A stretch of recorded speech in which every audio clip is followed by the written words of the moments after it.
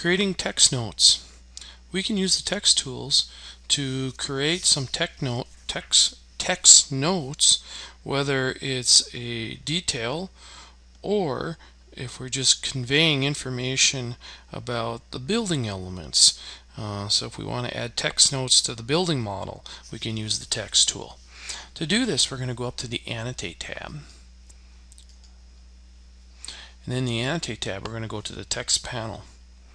Then we're going to click on Text. In the Text panel, first thing we want to take a look at is if we want a leader. So right now, no leader is checked by default. We can also add a one segment to the leader. So we just point to where we want to go and point where the end of the leader line goes. We can also go with a two segment uh, leader. So we point to where it wants to go. We point where the shoulder starts and where the shoulder ends. And typically that shoulder is between an eighth and a quarter inch long. We can also go to the curved uh, uh, curved leader line. This puts a artistic flair to it where it picks it and it puts an arc in between there. We can also then choose on how we want the note attached to the leader.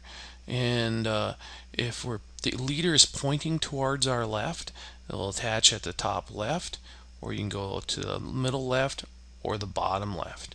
If the leader is pointing to the right, it can go to the top right, or you can go to the middle right or bottom right. You'll notice that they're highlighted in blue. Those are the default drafting standards. Uh, these are the given drafting standards in industry. Uh, and also we have that it's a front lines from the left, so the text writes from the left to the right, or it goes center, it goes evenly from the left and right, or we can line it up on the right margin and line it up. So I'll pick a two segment leader and I'll pick where I want it to go. I'll drag it up and place where I want the shoulder to start. I'll move it over and I'll place the length of the shoulder. Then I can type in and say example text. Uh, we want to use capital letters by the way. Uh, example text in any drafting we do. Now to finish the command we can pick outside of the box.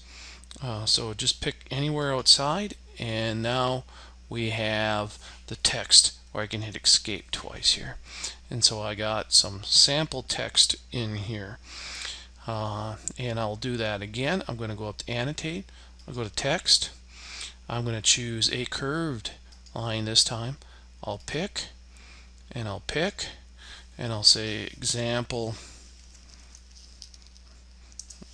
text and now I'll click outside of the area. I'll hit escape twice.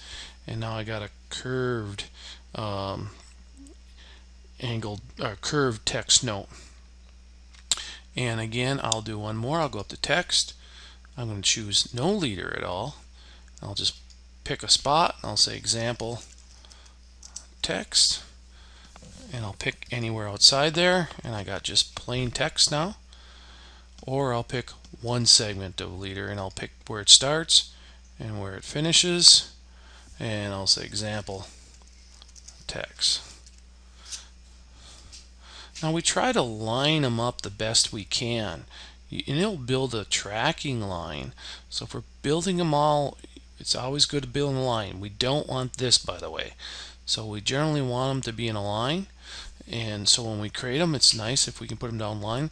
That way the viewer can read easily from top to bottom type thing or left to right is what we're looking for.